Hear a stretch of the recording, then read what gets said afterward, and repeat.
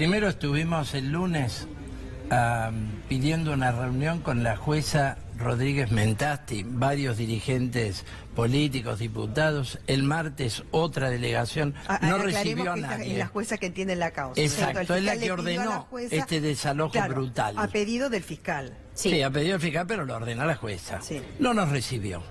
Solo recibió una pequeña delegación de los trabajadores con sus abogados. Normalmente los jueces reciben a diputados, a personalidades de derechos humanos que queríamos. ¿Qué queríamos? Que se establezca un diálogo en sede laboral para discutir ¿Cómo el problema. Porque, porque es un conflicto laboral, Laboral. no un conflicto penal. Acá no había centenares de delincuentes, son 600 trabajadores despedidos.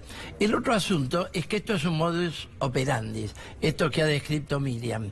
¿Por qué? Porque te hacen renunciar a todo derecho cuando vas a cobrar la indemnización de pedido de reinstalación.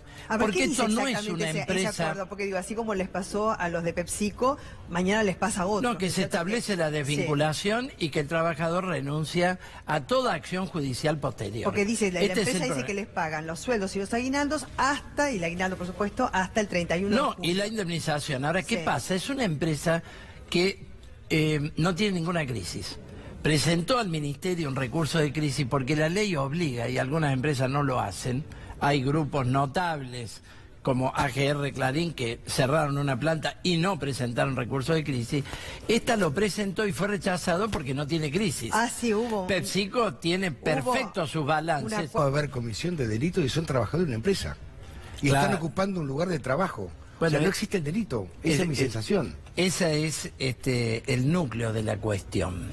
Acá estamos viviendo un cuadro. Es inconstitucional. Sí, es inconstitucional. Estamos viviendo un cuadro de pasar por encima de los resguardos convencionales, legales y de todo orden que tienen los trabajadores.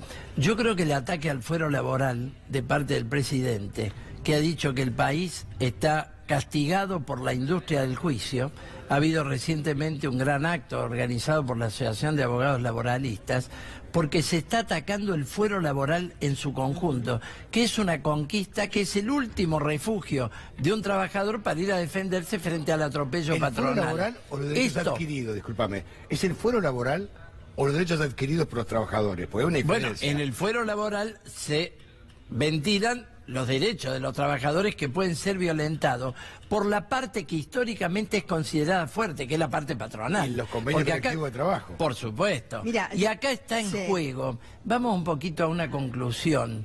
Acá está en juego, hay una cantidad de empresas, yo empecé a decir, hay crisis industrial por un montón de motivos, Sí, sí, la sí. gente no llega a fin de mes, explotan los supermercados porque le dan una pequeña ventaja, colas de ocho cuadras, hay una crisis de importación, hay una crisis en el comercio exterior, pero este es otro caso, que no tiene nada que ver, que es el intento general de flexibilización laboral, desconocimiento de convenio y desarticulación de Avalado por organización gremial. Y, de, y desarticulación de No, el organización tema es que las bases Por gremiales- supuesto, la CGT vive mirando para otro lado. Bueno. Sí. Ahora han convocado a los obreros, después de la represión, a una reunión. Es una impostura. Bueno. Hay que intervenir antes. Daer tuvo que poner el gremio de la alimentación al servicio de semejante planta de 600 obreros. Que por otra parte yo vengo de la planta ahora Sí. y he estado con otras comisiones internas de la alimentación, además de los compañeros de PepsiCo. Hay despido por toda la alimentación. Despido de 10, despido de 6, despido de 20. Es decir, estamos en un problema gigante con una CGT que es socia del ajuste de Macri. Bueno, eso es lo La gravedad de esto, más allá de todo, deja o abre una puerta de la modificación absoluta del convenio colectivo de trabajo, que cualquiera puede hacer lo que se le da la gana, Claro. que se aplica automáticamente el Código Penal. Mira, yo que quiero poner de relieve eso. A la cabeza de esto está el presidente Macri. Porque él, incluso en, en el comienzo del gobierno, puso como nave insignia de la política de Macri el convenio de vaca muerta. De los petroleros. El convenio petrolero, donde le han quitado condiciones laborales de características espantosas, lo cual da origen a que donde trabajaban tres compañeros ahora se arreglan con dos, porque hay que trabajar 12 horas, porque no tenés más protección cuando hay viento, porque frente al trabajo nocturno no te pagan los traslados, una cantidad enorme de cosas. Y esto no le ha dado resultado, porque estamos de naftazo y la producción petrolera bajó 8% en lo que va del año. Tenemos 6.000 despidos petroleros. Ahora, la semana pasada en Chubut, Tec Petrol despidió 300 compañeros. ¿Cómo hicieron el despido? Rodearon con gendarmes la planta de Tec Petrol. No te enterás porque Florida, bueno, acá están ustedes, todo lo demás, Tec Petrol en Chubut, en medio del campo, en los pozos petroleros, Sí, no desplegaron sabes. la gendarmería. Sí. Y eso no fue noticia. Es decir, que acá hay una política vertebral de desconocer convenios, de desconocer condiciones laborales, de cerrar el Ministerio de Trabajo no existe más. Incluso tiene encadenado 34 compañeros porque los ha despedido el, poco- el propio Triaca, ha despedido trabajadores que están tercerizados y ha despedido 34 una empresa tercerizada que hace la limpieza en el Ministerio. Pues vos hablabas donde de hay gendarmería. Néstor. No, Vos sabés no que... cumplen ni siquiera en el Ministerio las leyes laborales. Ah. Están poniendo la fuerza de seguridad al servicio de una política antilaboral. Y yo creo que hoy está en debate en el país esto. Estas son elecciones legislativas, pero acá lo que viene después de octubre es a dónde va la Argentina. Vienen por otra reforma laboral porque dicen que el problema argentino son los costos laborales cuando tenés tasas usurarias, combustibles a precio de oro, no tenés infraestructura. Impuestos. Impuestos terribles Te matan. al consumo, etcétera, que están destruyendo. Y han, han destruido el poder adquisitivo de los salarios porque la bendita derrota de la inflación no llegó No, nunca. todavía- Creo que no hay nada irreversible. Esto hay que refutar a la empresa. ¿Cómo sería? Porque es lo que marcaron ustedes. Acá tenés un Estado eh, que está actuando como un brazo de Y la hay un patronal. protocolo y de la Constitución miran como los piratas. Miran lo que les conviene, la, la facultad de la propiedad privada. No están viendo ni el cuerpo social ni las garantías constitucionales un protocolo del derecho de huelga que si está en la tenés un Constitución. protocolo. Yo ahí Tenés quiero poner el eje en todo el sindicato de la alimentación, porque Daer cree que ha cerrado este tema y no les atiende el teléfono a ustedes. Pero el obrero de la alimentación está conmocionado, está conmocionado todo el movimiento obrero argentino. Yo creo que la CGT que hoy se quiere reacomodar recibiendo a los compañeros, lo mínimo que debería hacer ante esto es un paro general. Hay mucha ¿Sabe por qué? con la CGT, Porque ¿no? tenemos cierre de fábrica por todos lados. Yo estoy recorriendo la provincia. Sí. El otro día me acordé, estaba, estaba haciendo memoria. Yo pasé el viernes, creo que era 29 de junio, estaba la Panamericana llena de gendarmes. ¿Dónde iba yo? A Zárate porque había una movilización por los despidos de Atucha. Que dicho sea de paso, hoy se vuelven a movilizar los compañeros y van a confluir ahora a las 3 de la tarde con nosotros, que vamos en solidaridad con PepsiCo, vienen movilizados porque Zárate está en emergencia laboral porque están cerrando un- una química por día y porque hay 890 despidos en Atucha. Esto es un problema nacional.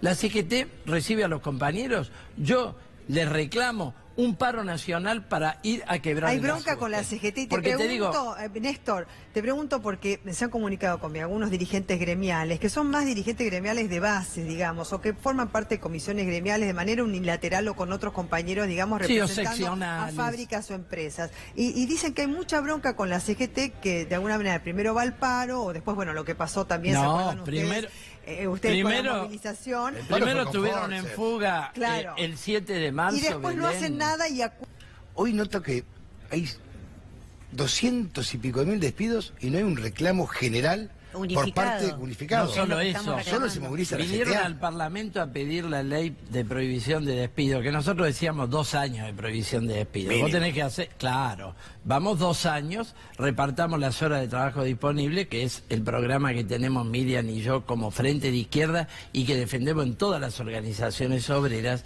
paremos los despidos y vean las medidas de reorganización económica, pero con la gente trabajando. También hay la una realidad, responsabilidad del Poder La realidad es que esto, salió, ¿eh? sí, pero salió una ley de seis meses, Por Sí, pero eso. la vetó. que salió fue esa. A las 12 horas la vetó Macri, en 12 horas. Perdón. Salió a las yo 3 de la he mañana. invitado a ustedes a, a programas donde hemos debatido los proyectos de ley que presentaban todos los partidos políticos, inclusive también creo que los partidos de izquierda han presentado este, Más proyectos proyectos más que nadie. contundentes, digamos, No en te este sentido que duda. beneficiaban a los trabajadores.